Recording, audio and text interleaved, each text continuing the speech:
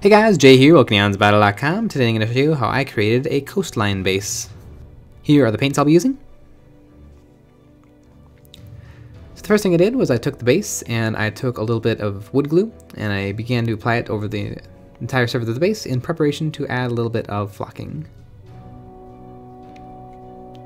First thing I added was a little sprinkling of plaster chips, um, slightly larger plaster chips, bigger than sand grains. And then, to finish it off, I dumped on some playground sand.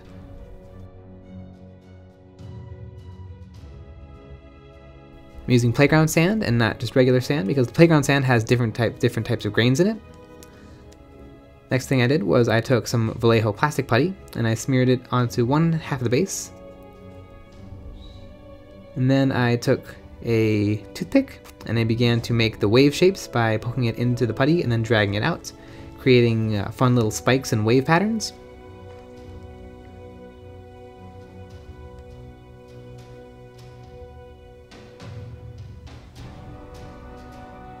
Then I allowed that to dry, and then I primed it black. I started by painting the earth parts of the base with Vallejo Earth,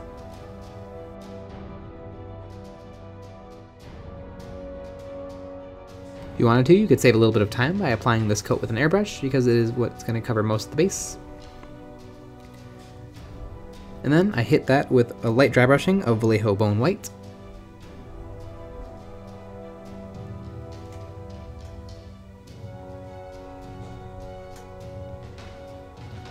And then I added a lighter dry brushing of Vallejo Stonewall Gray.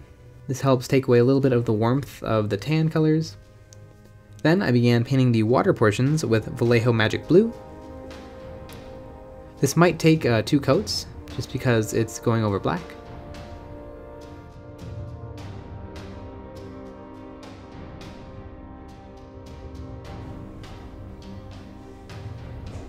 Then I took some uh, wet paint on my brush, some Stonewall Gray, and I dragged it over the the wave textures, which, which would leave a little bit of paint.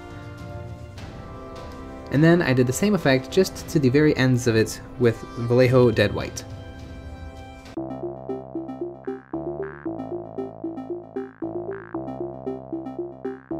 If you have any other ideas techniques like this do, please leave in the comments below.